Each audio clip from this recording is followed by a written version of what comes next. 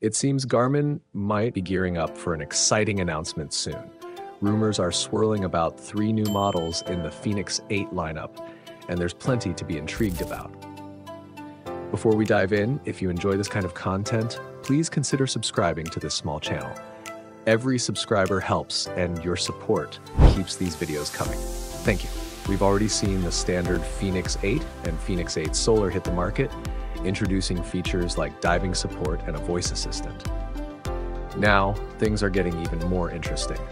Leaked screenshots from the Garmin Connect app shared on Reddit hint at the arrival of three additional models the Fenix 8 Pro 47mm, the Fenix 8 Pro 51mm, and something completely new a Fenix 8 Micro LED version.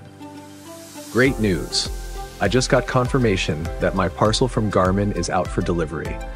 Tomorrow, I'll be reviewing it, and you won't want to miss it. Make sure to press that subscribe button to get notified as soon as the review is live. These models briefly appeared in the app's Add Device section before disappearing, fueling speculation. The Pro models seem like a natural upgrade, but the Micro LED version, that could be a real game changer.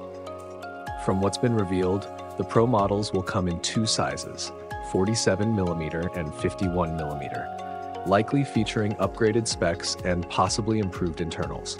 Solar charging might still be included, but nothing is confirmed yet. The situation becomes even more intriguing when you consider whether this was a simple software glitch or an intentional sneak peek. According to a 5K runner, this doesn't appear to be a random typo.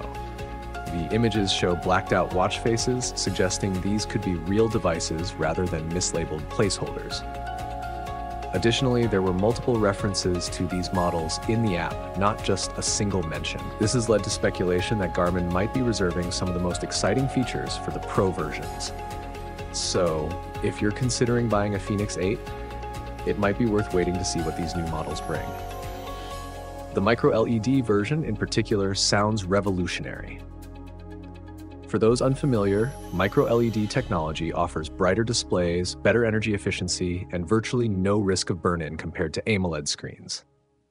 While tech giants like Apple have been working on micro LED for years, production challenges and high costs have held it back. If Garmin manages to deliver this technology, it would be a significant achievement. As of now, Garmin hasn't officially announced these models, so there's no confirmed information on pricing or release dates. However, if they do, they'll likely be priced higher than the standard Fenix 8, which starts at $1,100. Uh, before wrapping up, I encourage you to subscribe to the Byte Leaks channel.